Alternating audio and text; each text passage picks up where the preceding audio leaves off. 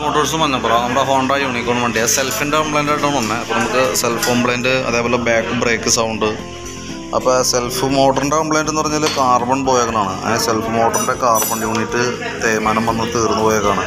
അപ്പോൾ അതിന്റെയാണ് സെൽഫ് എടുക്കാത്തതിന്റെ പിന്നെ അത് നമ്മൾ ബാറ്ററി ചെക്ക് ചെയ്യുമ്പോൾ ബാറ്ററി രണ്ടായിരത്തി ഇരുപത്തി ഒന്ന് മോഡൽ ആമറോണ്ടോ ബാറ്ററി ആ ബാറ്ററിക്ക് ആണെങ്കിൽ വോൾട്ട് വളരെ കുറവാണ്. അതായത് പത്ത് പോയിന്റ് അഞ്ചൊക്കെ ഉള്ളൂ. അപ്പോൾ നമ്മളിപ്പോൾ സെൽഫ് മോട്ടർ റെഡി ആക്കിയാലും സെൽഫ് എടുക്കാനായിട്ട് ബുദ്ധിമുട്ടായിരിക്കും. കാരണം എന്താ വെച്ചാൽ ബാറ്ററി ഒന്നുമല്ല ചാർജ് ചെയ്ത് നോക്കണം ലോ ആയിട്ട് കാണിക്കുന്നതുകൊണ്ട് തന്നെ നമ്മൾ മീറ്റർ വെച്ച് ചെക്ക് ചെയ്യുമ്പോൾ ലോ ആയിട്ട് കാണിക്കണം അപ്പോൾ അത് ചാർജ് ചെയ്ത് നോക്കാം.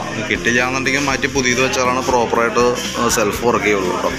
പിന്നെ ബാക്ക് ബ്രേക്ക് ലൈൻഡർ നമുക്ക് കുറച്ചും കൂടി ഉപയോഗിക്കാനുണ്ട്. കിടക്കുന്നത് കമ്പനി ലൈനറാണ് ഹോണ്ടയുടെ ഒറിജിനലാണ് അതിന്റെ ഈ ഹബിനകത്ത് ഈ ഹബിനകത്ത് ചെറിയൊരു സ്ക്രാച്ചസും കാര്യങ്ങളും ഉണ്ട് അപ്പോൾ അതുകൊണ്ട് തൽക്കാലം നമുക്കിതൊന്ന് ക്ലീൻ ചെയ്ത് കയറ്റാമേ പിന്നെ അടുത്ത പ്രാവശ്യം ബ്രേക്ക് ലൈനർ മാറ്റണ സമയത്ത് ഇതൊന്ന് ലെയ്ത്തിൽ കൊടുത്തൊന്ന് പോളിഷ് ചെയ്തിട്ട് പുതിയ ലൈനർ ഇടാണെങ്കിൽ നല്ല ബ്രേക്കിങ്ങും കിട്ടും നല്ല ലൈഫും കിട്ടും കേട്ടോ അപ്പോൾ അത് നെക്സ്റ്റ് ഇനി അടുത്ത ബ്രേക്ക് ലൈനർ മാറുന്ന സമയത്ത് കാരണം ഇതൊക്കെ നമ്മൾ ലേറ്റി കൊടുത്ത് ചെയ്യേണ്ട അപ്പോൾ താമസം വന്ന പരിപാടിയാണ് അപ്പോൾ അത് കണക്കാക്കി വന്നാലാണ് നമുക്ക് ചെയ്യാൻ പറ്റുള്ളൂ. അപ്പോൾ അത് എന്നാൽ അപ്പോൾ കറക്റ്റായിട്ട് നിന്നോളും ക്ലിയർ ആയിട്ട് നിന്നോളും. ബ്രേക്ക് ലൈൻഡർ നമുക്ക് മാക്സിമം ഉപയോഗിക്കാനും കിട്ടും ബ്രേക്കും നല്ല സ്മൂത്ത് ആയിരിക്കും കേട്ടോ